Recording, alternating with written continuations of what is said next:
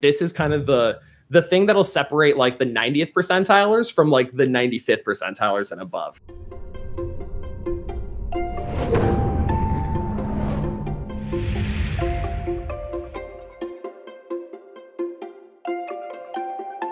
Hunter, welcome back to the MCAT podcast. What's Woo! going on? Oh, you know, chilling out, maxing, relaxing on cool. Chilling out. Uh, HR apparently hasn't heard our last episode, or else they wouldn't let you be back today. Uh, but No, I'm we're glad, keeping it hidden from them. I'm glad you're here. Thanks for Um, inviting me. I'm glad to be here. yes, we um, we every day jump into our car and start the engine, as they say in NASCAR. Uh, yesterday, as we're recording this, was the Daytona 500. Drivers, start your engines. Those guys think like race car pros. Today, we're going to think like MCAT cars pros. That's the idea. Um, think like a pro. That's the new series that we're going with. Uh, I'm excited. How does one think like a cars pro? Um, first of all, like that was beautiful. That was like such a good intro and segue. That was I I didn't even know the Daytona. You've done your research on this. That was wonderful. Um, how does one be a pro? Honestly, whatever you did to prep that intro right now. so so this is so this is something that I get all the time. Yeah, yeah. Anybody who isn't familiar with me uh, or hasn't caught you know our episodes together or anything like that before, uh, what's up? My name's Hunter, and right, I'm a Blueprint MCAT tutor. I've been doing this for like ten years. Um, and yeah, yeah, it's a long time. I've got a lot of gray hairs. So if you're listening to the podcast, you don't have to watch them. That's good. Um, So you're yeah, saying Ryan, it I- takes 10 years to become a pro. Like, Honestly, for some people, it feels like that, and it, it doesn't have to be that way. That is my number one thing that I want people to walk away from this feeling like. Um, so, so real talk, Ryan. I think this is probably one of the hardest things for students in general to just prep for because there's no content, right? And I Yeah. know you're, I like, I'm a little bit more in the weeds when it comes to like day in day out, like teaching and, and tutoring and stuff like that. But I'm sure you get tons of cars questions, anyways, right? yeah, all the time. it's it's it's like a nightmare for students. Um, Yeah. Give us some gross formulas and like a list of organs to memorize. That's fine, whatever. Krebs cycle, easy peasy. But give me a, Sure. a, a paragraph about poems, a poem about poems, even, and like, no, forget it. I'm out of here. Um, let me. I'm gonna be such a punk. Let me throw it over to you for two seconds. Yeah. Why do you think cars is besides that there's no science? Like, why do why do students hate it so much? Uh, because there are people like us out here that say that cars is really hard for people, and so they take that into the test and they they live up to that. Um, right? We we have data that shows if the teacher says, "Hey, student, this test is really hard for people like you," whatever that may be, then they live into that. And so we're out here going, "Cars is the hardest," and they're like, "Uh oh, cars is the hardest," and and I I wonder how much is that that's true. Because I, I see this day in and day out where we have a student who who uh, the typical kind of formula is an ESL student who uh, we we know historically does worse on the MCAT because of their their non-native English speaking skills. But they're out there scoring 130s on the sciences and they have like a 123 in cars. I'm like, no, no, no, no, no. Like, you understand the MCAT. You have enough critical thinking in English uh, to understand what that test writer is asking and how the questions are presented. You are one who's living into this theory that cars is really hard for ESL students. And so you're sitting there during your car section going, oh my gosh, this is really hard. Yep. Oh, yep. Ryan said it was going to be really hard. Hunter said it's going to be really hard. And then they do poorly. Yeah, I um, it's basically it's uh for all those psych uh, students that are currently studying for that section of the test. It's teacher expectation theory almost, right? Um, but no, I, I can't agree with you more. And in fact, that's one of the things that I try to do more often than not with my students is start off by saying, "Hey, uh, my two favorite subjects are cars and physics, and those are normally and OChem is like the other scary one. But those three, that's like the trifecta of doom for a lot of us, and it shouldn't be. Like physics, number one, if you really understand the concepts behind all the equations and stuff like that, and you don't just rote memorize, then like it's the most intuitive of all the sciences. Like balls roll down hills, you know, roller coasters do loop de loops. Like I know this, it's gonna happen, right? So the intuitive Dude, nature of physics. You, you can't talk about physics without friction on an inclined plane. Come on.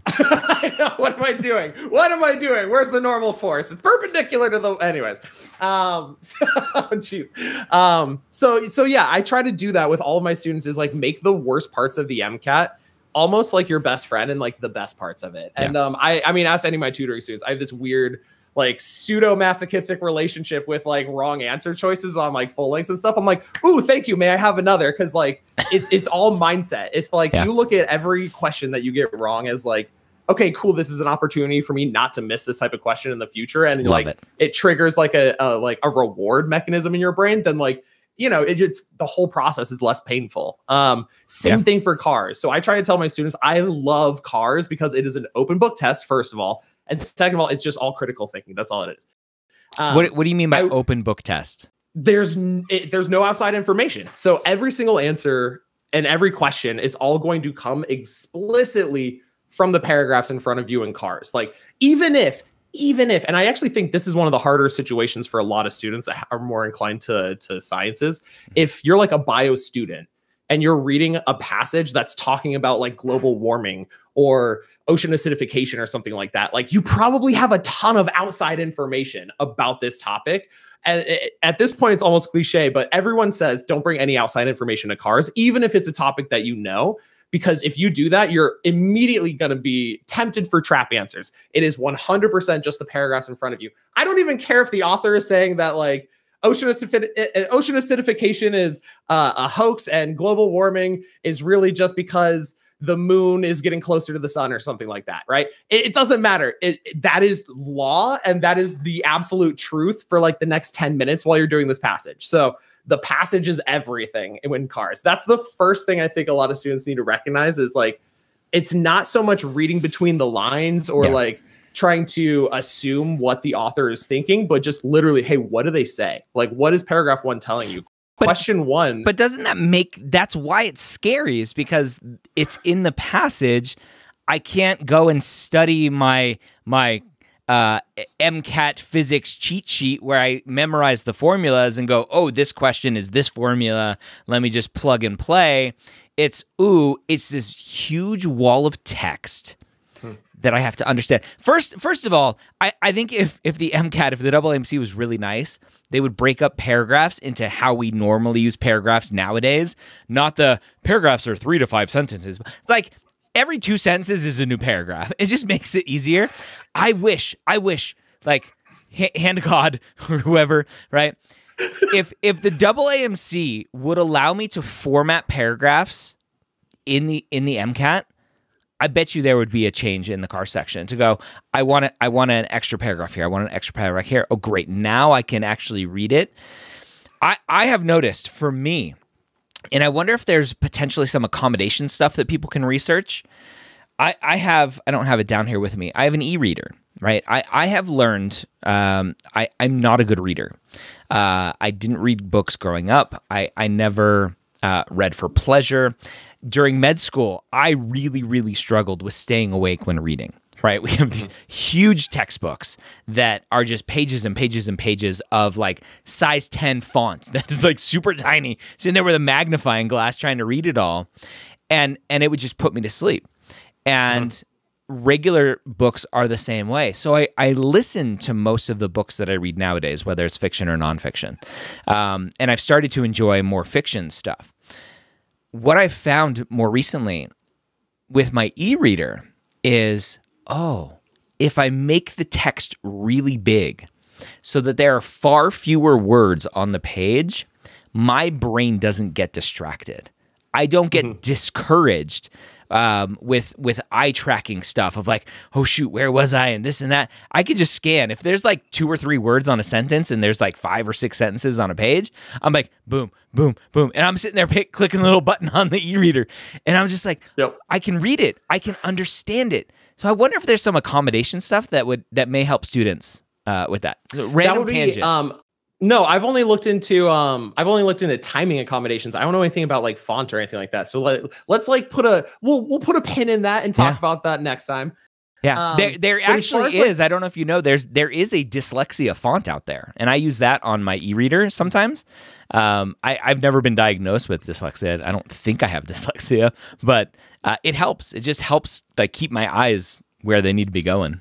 So I actually love everything that you're saying right now. Um, I I I'm going through college. Very similar story for me, right? My undergrad like that. Um, it, I was ADHD and stuff like that, and so like it was hard for me to same thing focus on textbooks. I loved reading for fun, but that was like to me it was completely different. But like as soon as I was actually prepping for the MCAT, it would be two in the afternoon, and I would crack open like my chemistry textbook or something like that um, from my set of 10 textbooks that I was studying for the MCAT, right? Because this was a very long time ago. We didn't have all the awesome stuff that Blueprint has. Haha. Anyways, um, and like honestly, it'd be two in the afternoon, and like 10 minutes into it, I would immediately start doing like the the woodpecker, you know, where you're like head bobbing and stuff like that. So I know exactly where you're coming from. And like going back 10 minutes ago to what you said, that's actually one of the reasons why cars and why like the fact that there is no outside studying required is brilliant. So like number one, you don't have to fall asleep during textbooks to get a perfect score in cars, right? It's just do you have of critical reading and critical thinking? And those are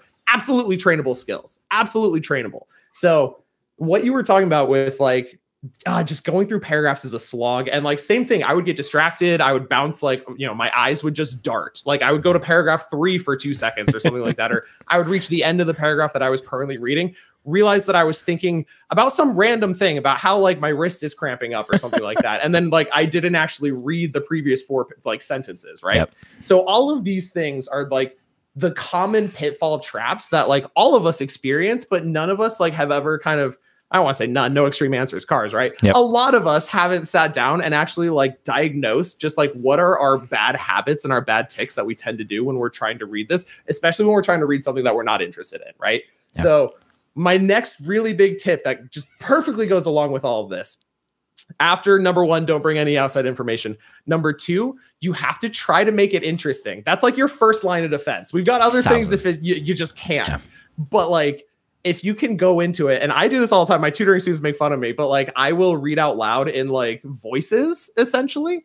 Um, so like if it's like a naturey one, right? I'll do like an old David Attenborough. I'm pretty sure I did my David Attenborough on this podcast and I almost got banned for it. So I won't do it again. Yep. But I'll do like voices or something like that. I'll also um I don't know if there's an actual term for it, but I like sub vocalize and I actually like read out loud to myself sometimes. So that really helps me what you were saying like stay focused on the actual words and just like the word that I'm currently on and maybe the couple in its peripheral, you know, the the next two in front. I don't do that like chunking thing that I, I don't feel like I, I actually retain much from that, but like I sub vocalize and almost like whisper to myself. And then it's like I'm narrating a story and my brain follows stories way better than just like reading chunks of text. So like that's the the big tip number two that's kind of like weird and esoteric is like you have to change the way that you think about these things and try to make the passage entertaining in some way Yeah. or another. So so here's a um the the quote that ties perfectly together with this. It's a it's a Walt Whitman quote uh, that Ted Lasso popularized. Be curious, not judgmental. Right? Yeah. I think so many people open up the cars, they read that first passage and they go, crap, this sucks. This is terrible. Oh my gosh, I hate this topic. Ah, ah. Like this is 14th century English writing and I don't like like don't judge it. Just be curious about what the words are going to say. Be curious about what potentially the test writers may pull from what you're reading. And that small mindset shift. Thank you, Ted Lasso. Um, I can't, I can't wait. March fifteenth, season season three is starting. Oh, so so excited.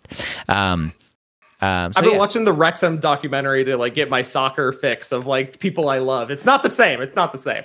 Yeah. So so yeah, I, I think I think that's a huge part of it.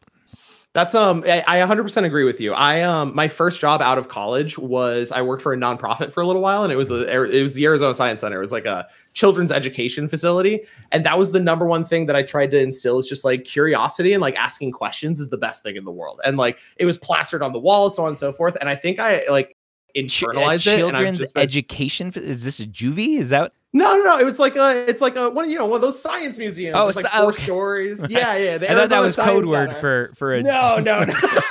no, no. It's like an informal, you know, family comes and I would do like chemistry demonstrations Okay. or like dissections and stuff. It was very cool. That's awesome. Um, yeah, but and that was like the first four years out of college. I was like pretending to be Bill Nye. It was rad, and then I was like, oh no, I'm broke because it's a nonprofit. um, no, I love that place. Best Double job I've AMC is a nonprofit. They're they're not broke. Shh, shh, shh, shh.